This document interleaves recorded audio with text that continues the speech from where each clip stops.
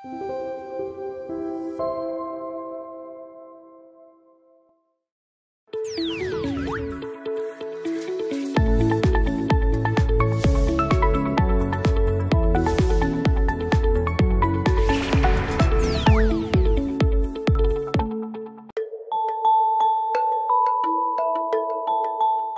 41살 되겠죠? 경신생.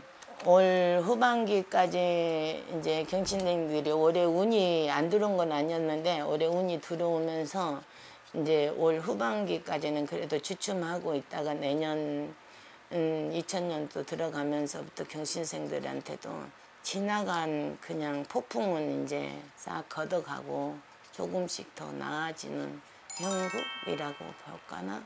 바람 잘 날 없었던 그 마음들.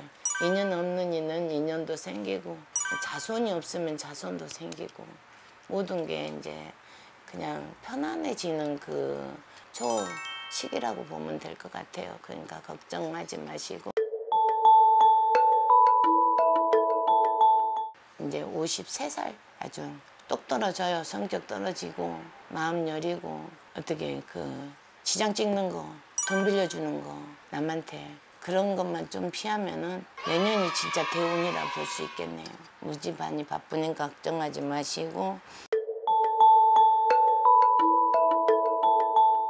65세의 병신생들 올까지 올 하반기까지도 좀 힘들다고 보면은 금전의 운기에서도 많이 힘이 들고 마음에 없는 소리도 해가면서 빚도 많이 지고 그랬을 건데 내년 가서 한번 기회 한번 잡아보시면 사업운도 있을 것이고 기운이 내년에 가서는 좀 강하게 들어오니까 걱정하지 마시고 내년에 부동산이나 사업이나 문서를 활성화를 시키시려면 은 크게 빨리 솟구쳐서 대박 나십시오.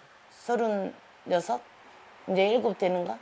예, 서른일곱의 갑자생들 고통이 조금 많았죠? 여기 카메라 삼촌이 서른 일곱에 이제 내년 성주 운을 받아가면서 바꿀 게 너무 많아.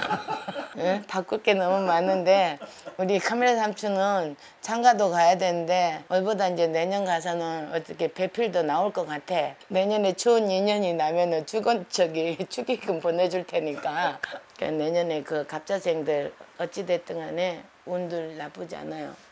괜찮아요.